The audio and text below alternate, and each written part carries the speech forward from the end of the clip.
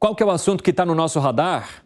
O Comitê de Política Monetária do Banco Central deve divulgar daqui a pouco se vai manter a taxa básica de juros como está, se vai aumentar, se vai diminuir a taxa Selic mais conhecida assim por todos.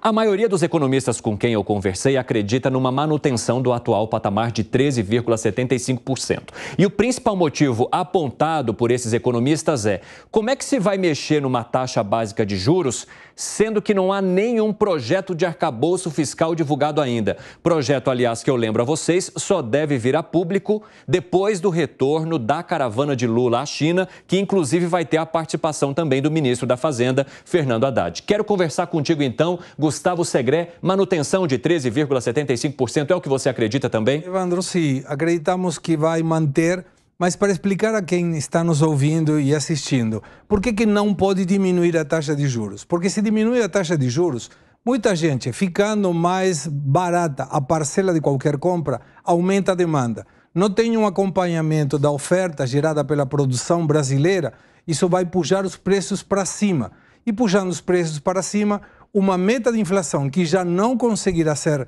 respeitada complica um pouco mais. Então, não adianta, não tem nenhum sentido neste momento diminuir a taxa de juros na canetada. E observemos como vínculo indireto o Fed dos Estados Unidos, era outro dos assuntos de hoje, vai, aumentou 0,25 a taxa de juros, colocou entre 4,75 e 5 pontos percentuais. Então, te mostra que é uma preocupação mundial e o Brasil não pode ficar fora disso. E eu quero trazer mais uma informação relevante aqui. Nas conversas que eu tive, eu ouvi duas análises. Uma delas é de que, se reduzir a Selic neste momento, poderia significar um prejuízo à credibilidade do Banco Central, porque ele estaria cedendo às pressões políticas, ou seja, a autonomia vai para o ralo. A outra vertente diz que o momento atual permite a redução da taxa básica de juros e que não seguir esse caminho por birra do governo é o que prejudica essa autonomia.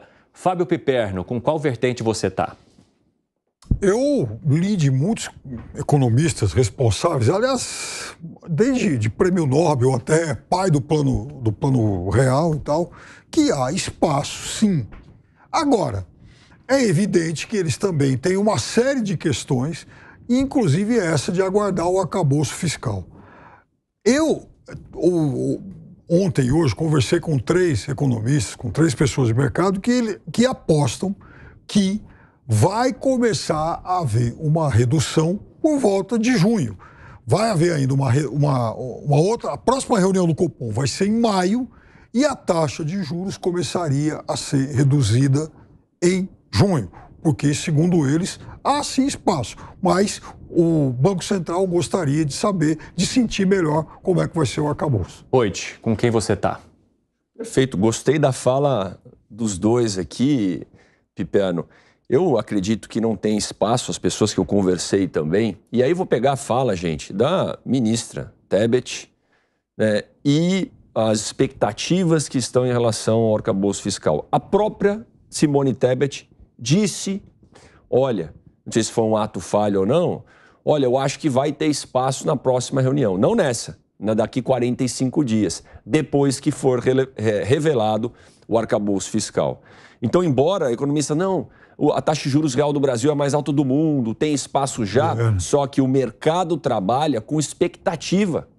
O mercado trabalha com é, é, projeções futuras. E a hora que o mercado não sabe o que vem, ele põe o pé no freio. Rapaz, eu não vou baixar a taxa de juros. Se o governo apresentar um arcabouço fiscal que vai estourar gasto, a inflação vai para cima.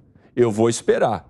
Apresentou uma responsabilidade fiscal coerente e que, se Deus quiser, surpreenda o mercado, aí o Banco Central, com as condições que a gente tem hoje, começa a ter mais é, é, capacidade técnica para baixar a taxa de juros. Gustavo Segre, manutenção é importante para realmente bater ali o carimbo da autonomia do Banco Central ou é birra do Banco Central se não avaliar de outra forma? Evandro, eu, eu vejo as duas possibilidades, mas nenhuma como fundamento para mexer na taxa de juros.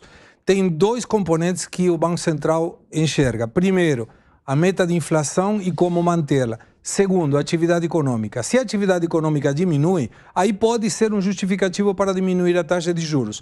Mas o fato de apresentar um arcabouço fiscal não é motivo suficiente para diminuir a taxa de juros.